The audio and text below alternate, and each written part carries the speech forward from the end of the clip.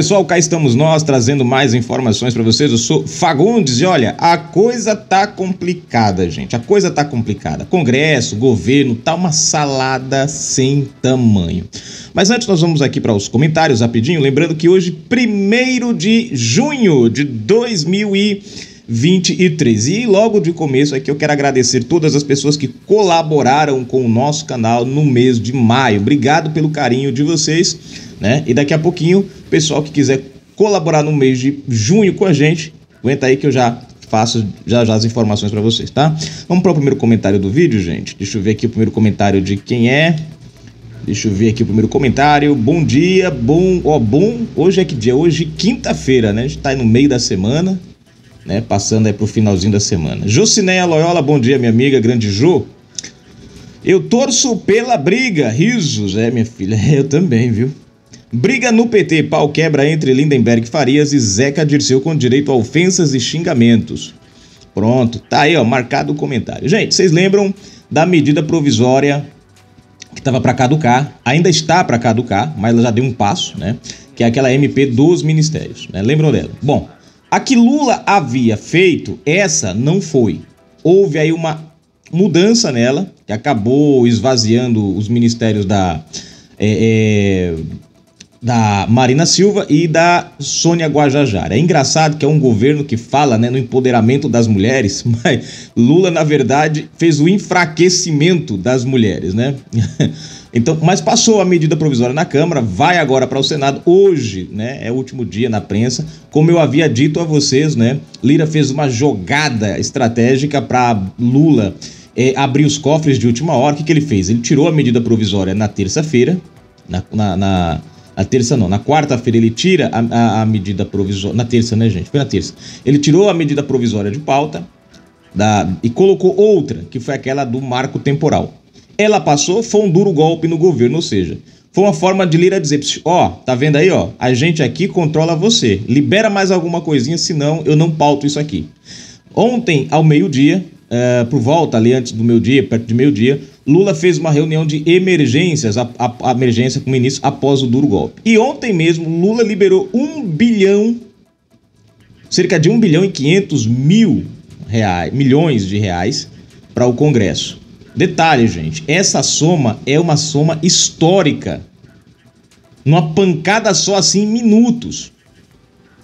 Sabe qual é a parte mais engraçada dessa história? É que ontem eu trouxe para vocês a matéria de que Lula cortou 1 milhão e 400 e poucas mil pessoas do Bolsa Família no mês de maio. Mas quando precisou de 1 bilhão e meio para atender seus caprichos, no instante Lula arrumou esse dinheiro. Claro, nosso dinheiro. Então tem dinheiro para negociar com parlamentares, mas não tem dinheiro para matar a fome dos brasileiros. Eu espero que o pessoal que fez o L consiga enxergar isso. Bom, vamos mais um para a matéria. Se você não é inscrito no canal, se inscreve agora mesmo, ativa o sininho das notificações, marca aí a opção receber todos os vídeos. Comente, compartilhe, deixe seu like. Na descrição tem chave Pix. Agora sim, você que gosta do nosso canal, curte nosso trabalho, seja aí um colaborador do canal Brasil Notícias e ajude o nosso trabalho. A gente precisa muito da sua ajuda, a gente precisa muito da sua colaboração. Vem para cá porque o canal Brasil Notícias depende muito, muito mesmo de vocês. No final da descrição, gente, tem link de convite lá para o grupo no Telegram. Todas as matérias por lá em primeira mão, tá? E também tem a nossa live todos os sábados, às 20 horas 30 minutinhos, onde a gente debate todos os assuntos e é você aí de casa quem traz o assunto, quem debate junto comigo, participa ao vivo da live. Bom, vamos começar com o Twitter do Lira, né? Ele manda um recado aí para Lulita, né? Ele manda um recado. Daqui para frente o governo vai ter que andar com as próprias pernas, não haverá mais sacrifício, diz Lira após a aprovação de MP. Né? Ou seja, a, a medida provisória né, do, dos ministérios. Né? É, a, medida provisória que foi né, lá da Câmara, tudo, enfim. Presidente da Câmara afirmou que atendeu apelo de Lula e que a aprovação da medida provisória se deve aos líderes de partidos independentes. Pessoal que não tem, não tá ligado a nada, né? É, essa parte é engraçada, né? Bom, vamos lá. Continuando aqui, deixa eu continuar. Olha só. presidente da Câmara afirmou que o governo terá mais uma oportunidade de trabalhar na articulação para ter dias mais tranquilos. Texto vai ser votado no Senado nesta quinta-feira. Primeiro, obviamente, gente, que no Senado ele não vai ter nenhum problema para ser pautado. Afinal de contas, ontem, Pacheco, ministros do Supremo, Zanin e Lula tiveram uma boa conversa, né? Então, obviamente, a gente sabe que a troca de favores ali, Pacheco tá muito de olho na, na, na próxima vaga do STF, então é lógico, tudo que papai Lula pedir, Pacheco vai fazer, né? Isso é prego batido e ponta virada, não tem para onde correr. Não tem o que a gente esperar fora disso não, né? Após a aprovação da medida provisória que organiza os ministérios do governo Lula, o presidente da Câmara, Arthur Lira, PP de Alagoas, disse que o governo terá que andar com suas pernas a partir de agora.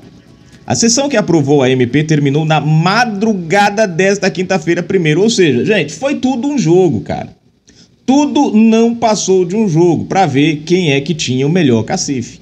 Lira tirou a, a, a, a MP de última hora, Lula tentou segurar a articulação máximo que pôs o dinheiro. Né? Vocês acham que Lula soltou esse um bilhão satisfeito? Não soltou, gente.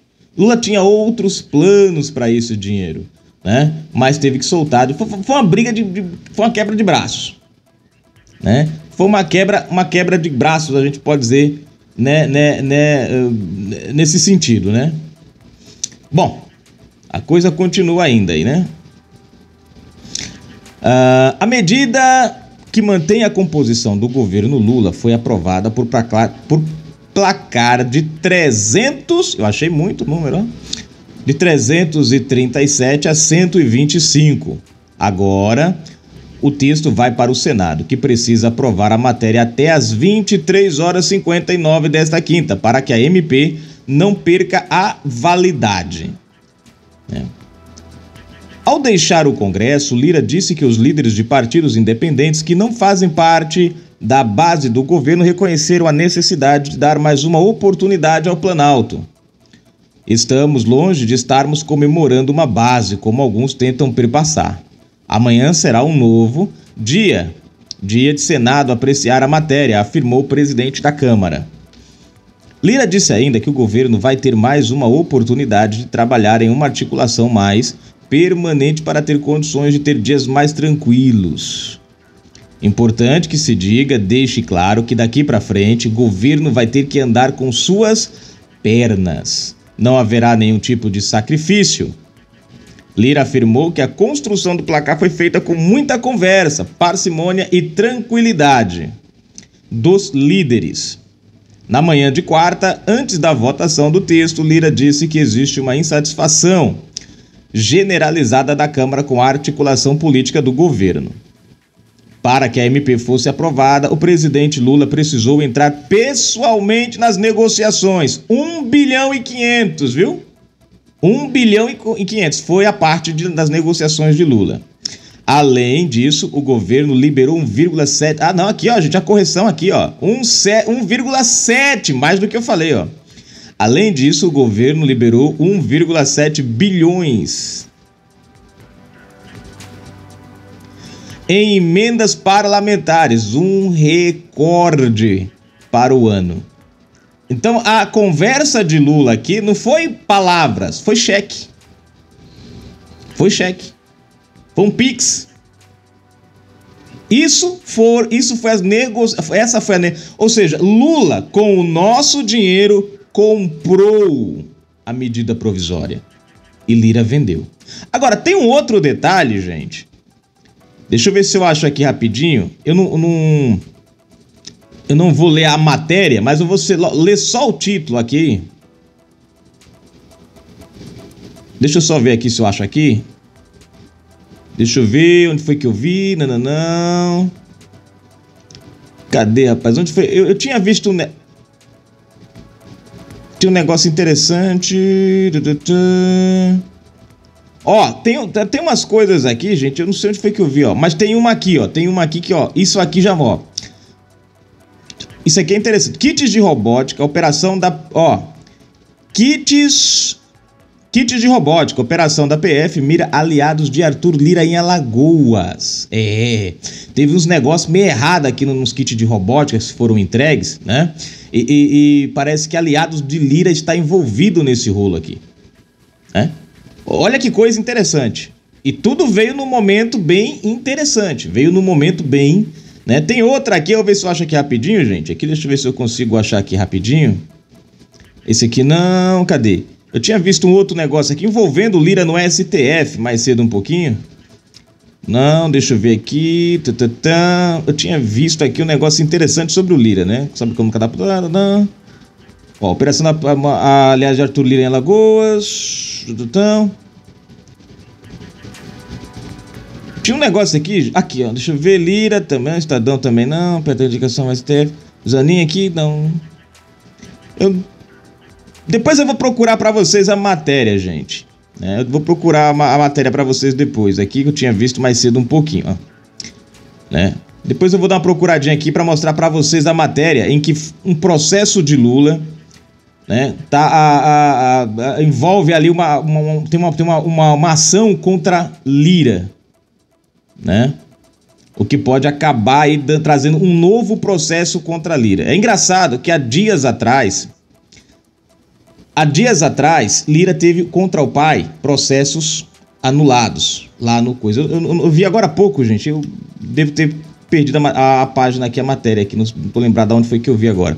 Mas depois eu vou dar uma olhadinha de novo.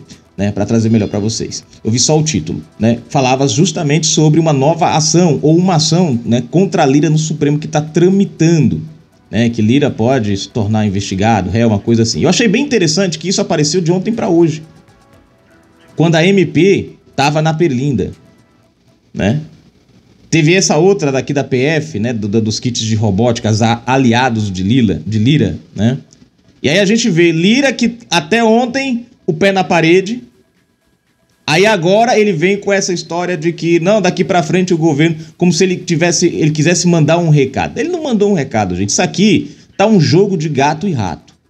Quem quiser acreditar que tá havendo aqui Lira é, a verdade é essa: o, o, governo tem o cofre, a chave do cofre, né, nas mãos. E, e o Congresso, a vontade de gastar. Então fica aquele julgo. Lira segurou até o último momento, sabendo que Lula não ia abrir mão desse ministério, porque era importante, senão ia desmanchar todo o ministério dele. Né, ia dar uma quebrada fenomenal. Eu acho que nessa quebrada Lula não se recuperaria. Muito difícil Lula se recuperar dessa quebrada. Então Lira sabia, ele não fez isso porque era certo, ele fez isso porque era bom para ele. Né? Então tá aí, ó, 1 bilhão e 700 desceu para a Câmara, agora vai subir para o Senado, provavelmente vai passar, gente, no Senado, de boa. Vai passar no Senado, porque a gente já sabe que Pacheco tem todo o interesse do Supremo, né? Tá aí a matéria. Daqui a pouco a gente volta com mais informações. Eu vou ver depois se eu acho lá a matéria para nós trazer aqui para vocês. Né?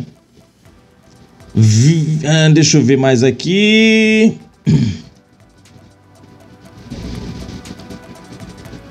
Deixa eu ver, deixa eu ver. Aqui, comentário do nosso amigo. Cadê? Não, aqui não. Aqui marcar o comentário. Cadê? Deixa eu ver, deixa eu ver, deixa eu ver. Só um segundinho, gente, que a página aqui tá travando. Pera aí. Pronto, João Roberto Dávila comentou aqui colocou aqui Lula, né? Eu achei da hora que ele colocou Lula, aí um monte de coração vermelho, é fã do Lula ele. Colocou no vídeo, prevendo novas derrotas no Congresso, Lula prepara uma onda de decretos, né? Para ele é uma maravilha esse governo. Tá aí, comentário do nosso amigo. Grande Alex Rocha, um abraço, companheiro. Torço pela briga. Pronto, mais um aqui. A briga já tem, duas, já tem dois torcedores. Três. Eu. Briga no PT pau quebra entre Lindenberg Farias e Zeca Dirceu. Menino do céu, eu quero ver o pau quebrar lá dentro, viu? Com direito a xingamentos e ofensas. Alex Rocha, finalizando aqui rapidinho. Essa canja é uma mala sem alça, uma alça sem mala também, né? Vergonha enquanto venezuelanos passam fome, Janja promove o banquete a Maduro no Itamaraty. E agora, a, gente, os pratos típicos aqui é de embrulhar o estômago, menino. É cada mistureba que eu vou dizer uma coisa. Se isso é comida de rico, deixa minha comida, deixa meu feijãozinho com arroz, meu, meu, meu macarrãozinho, a, a, a água e óleo, que é muito melhor, menino do céu. Olha, tem cada coisa ali que. Sei não. Fui! Quero nem lembrar aquelas comidas. Fui!